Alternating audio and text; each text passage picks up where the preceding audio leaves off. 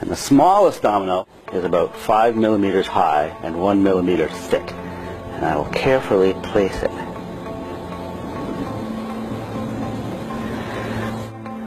And there are 13 dominoes. And the largest domino, it weighs about 100 pounds uh, and is more than a meter tall.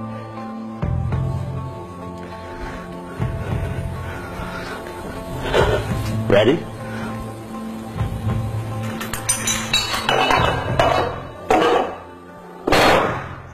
Boom.